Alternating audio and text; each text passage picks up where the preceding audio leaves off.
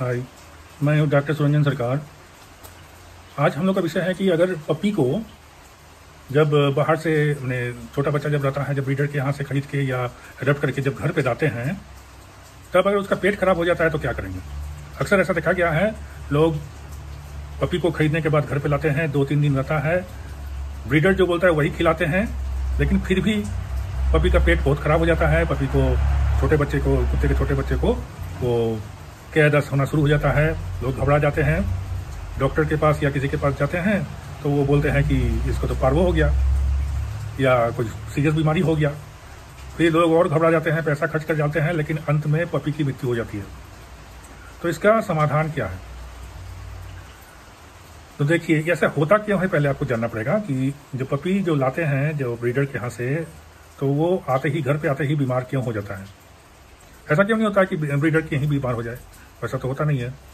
उसका एक ही वजह है स्ट्रेस पपी जहाँ रहता है, छोटा बच्चा रहा, कुत्ते का छोटा बच्चा जहाँ रहता है, उसको उस जगह की आदत रहती है, उसके खान पान की आदत रहती है।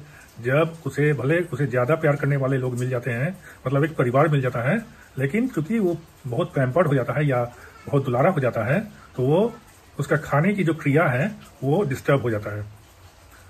सिर्फ़ खाना जो है क्वांटिटी या जो बताया गया है, वो देने से नहीं होता है।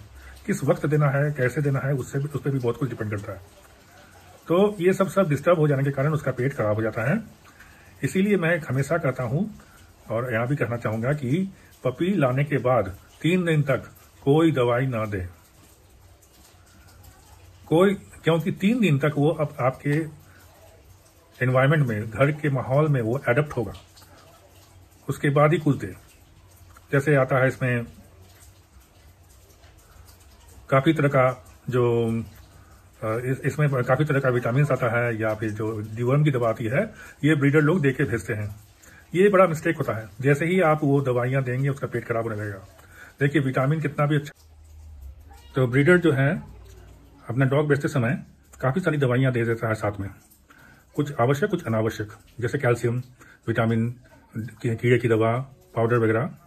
जिसमें से मुख्यतः एक मैं मैं कहना चाहूँगा कैल्शियम बिल्कुल भी ना दे पहले तीन दिन तक। कैल्शियम से गेस्ट्राइटिस होता है और उसमें पेट खराब होने की संभावना बहुत ज़्यादा होती है। थोड़ा बच्चा आपके घर में स्टेबल हो जाए, उसके बाद दें।